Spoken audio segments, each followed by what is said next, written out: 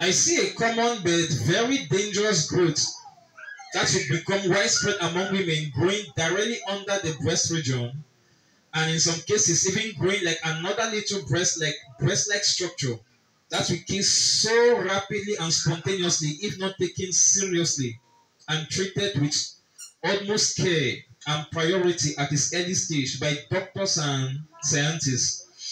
This will mostly make victims of women who do not only have cats and other animals as pets.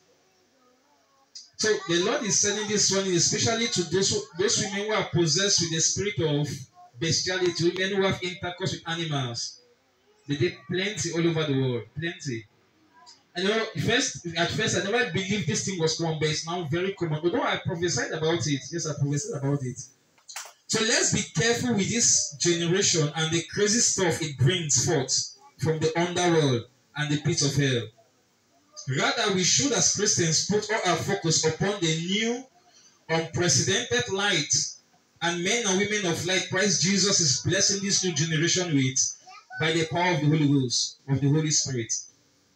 Never let depression and loneliness lead you astray to such dimension. Rather, see it as an opportunity to spend quality time with the Holy Spirit in prayers, fasting sections, and meditation upon God's word, which must attest greatness at the end of the day, bringing destiny helpers, great men and women at your beck and call in the mighty name of Jesus Christ.